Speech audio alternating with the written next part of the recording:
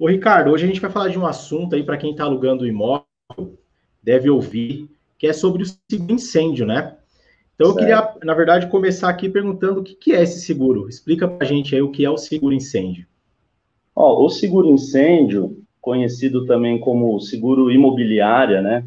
Ele é, é uma garantia que, que é contratada pelo proprietário ou pelo inquilino para poder é, beneficiar ele, né, no momento de um incidente, se ele tiver, né, um incidente de incêndio, poder dar uma garantia para ele de que ele vai ser restituído sobre aqueles danos, né, que foram causados ali ao imóvel dele e aos, né, aos bens, né, aos pertences dele.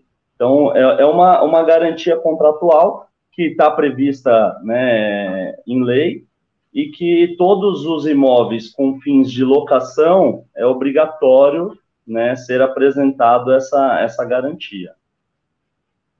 Então, basicamente, Legal. o seguro incêndio é isso.